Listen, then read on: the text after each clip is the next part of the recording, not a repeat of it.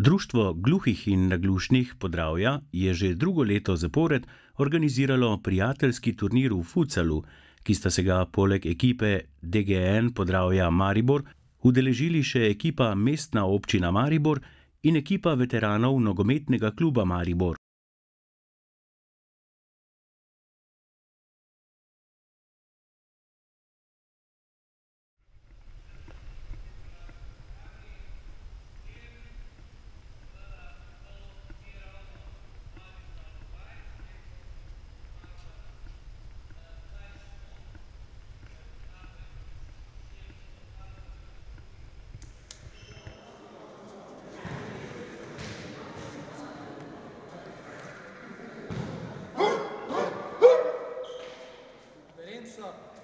Kjer želimo mariborski oziroma širši javnosti sporočiti uh, našo namero, se pravi, kot državni prvaki smo se uvrstili v Ligo prvakov.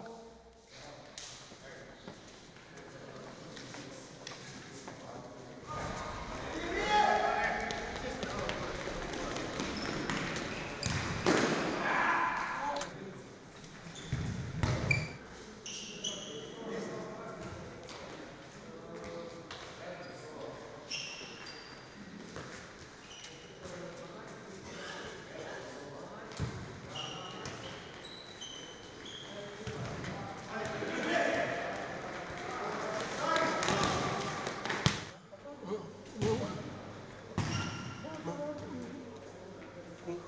Não.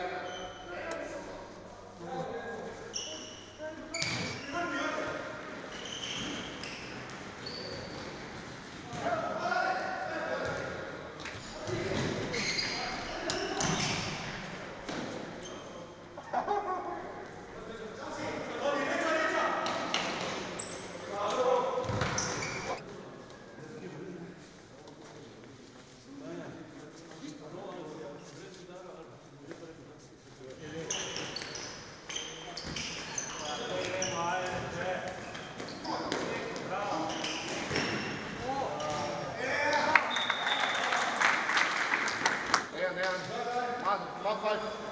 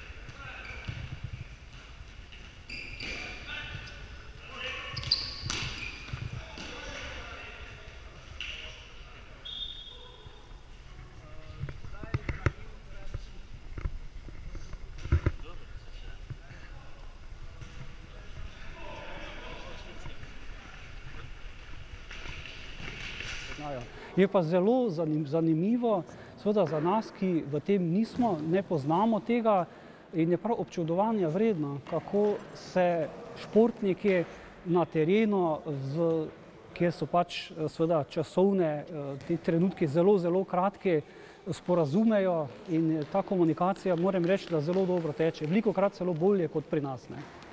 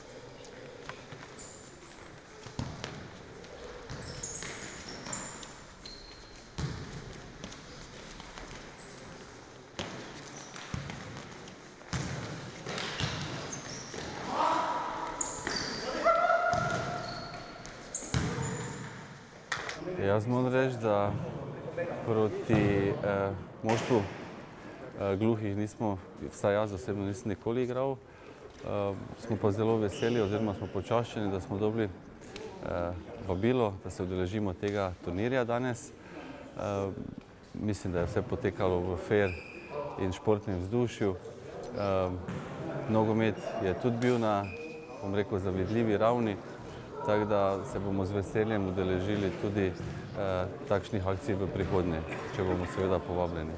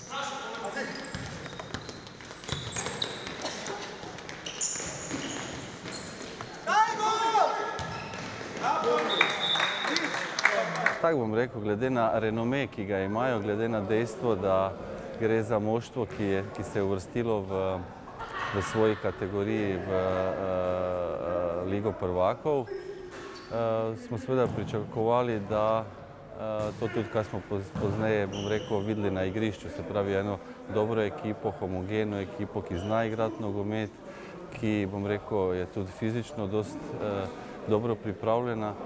Tako da, bom rekel, nismo bili presenečeni eh, nad njihovo kvaliteto, eh, smo, bom rekel, to pričakovali, ne, glede na pač renome, eh, ki ga uživajo.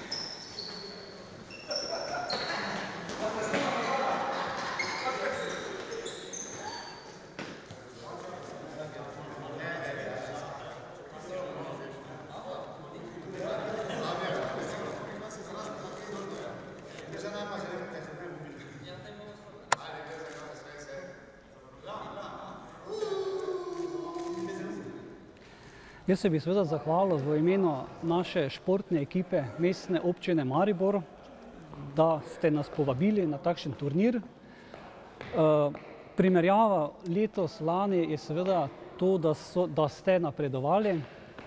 Videli smo, da ste boljše, zato ste nas tudi premagali, moram reči športno.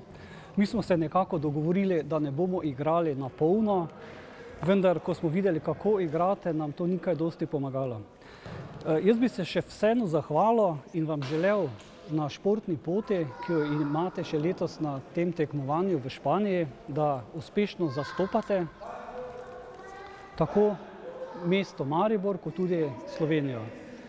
Uh, vesel sem, da so se odzvale ekipe tako občine in pa kot uh, ekipa NK Maribora.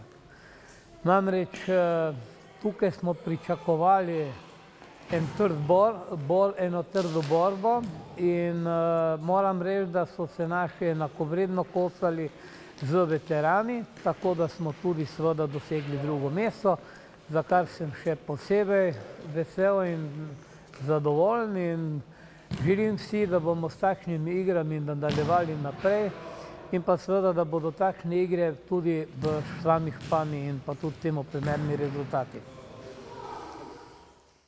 Na turnirju je slavila ekipa veteranov nogometnega kluba Maribor. Drugo mesto je pripadlo ekipi DGN Podravja Maribor, tretje mesto pa je osvojila ekipa Mestna občina Maribor. Za najboljšega igralca je bil izbran Amir Karič, najboljši strelec je bil Peter Binkovski. Oba iz ekipe veteranov nogometnega kluba Maribor. Žiga Bedenik iz DGN Podravja Maribor pa je bil najboljši vratar.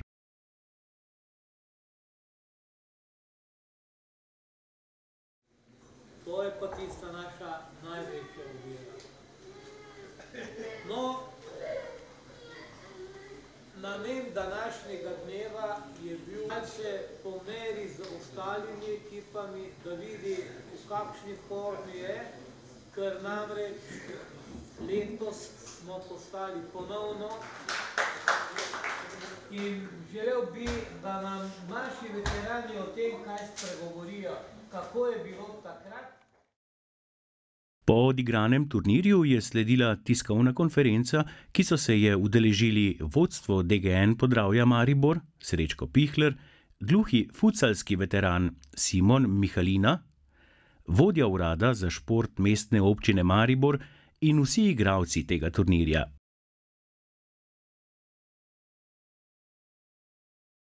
Od medijev sta bila prisotna samo spletna TV in radio FM.net. Februarja naslednje leto ekipa DGN Podravja Maribor odhaja v špansko Huelvo na Ligo prvakov gluhih. Na tiskovni konferenci so ekipo predstavili ter spregovorili o njeni zgodovini in uspehih. Dotaknili so se tudi financ za ta projekt in povedali, da upajo na pomoč donatorjev.